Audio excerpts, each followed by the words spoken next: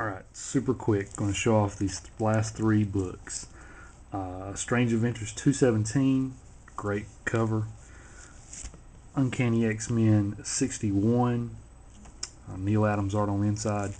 And my Grail book that I got for the weekend, I was so happy to get it. My wife was tickled for me to have it. I was happy to get it. X-Men 94. You guys know how significant this book is. I was really happy to get it.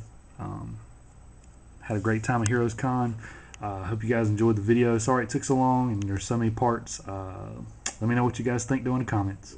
Take care.